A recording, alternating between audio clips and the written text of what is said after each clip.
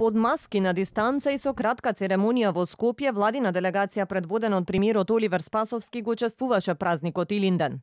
Чествувањето започна пред споменикот на слободата, сила, слава и победа, а мотото оваа година гласи Победа за сите. Во својот говор, премиерот Спасовски победа го нарече влезот на Македонија во НАТО. Рече дека како дел од мокното семејство на НАТО, Северна Македонија станала фактор за стабилност во регионот и земја во која граѓаните и децата имаат сигурна иднина. Во остварувањето на оваа цел, македонците, албанците, турците, власите, србите, ромите, бошњаците и сите други. Остваруваа и ги делеа заедничките победи кои ни овозможија денешната Република Северна Македонија. Држава членка на НАТО, земја на пат за членство во Европската Унија земја која меѓународната заедница ја прогласи за најуспешна приказна на Западен Балкан во последните три години.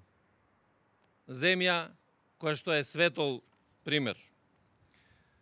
Ова се резултати на победи на сите нас. Победа за премиерот се и договорите со Грција и Бугарија, со кои според Спасовски Македонија покажала дека умее да ги зачува и спроведе начелата на илинденците и да подаде рака за соработка со соседите. Го совладавме и тоа. И извојувавме уште една победа за сите.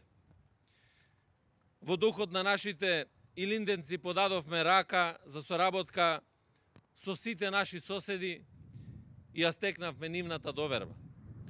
Преку овој отворен пристап се реализираа договорот од Преспа со Грција и договорот за добрососедство со Бугарија. Благодарение на овие договори, Северна Македонија од лош пример се претвори во успешна приказна.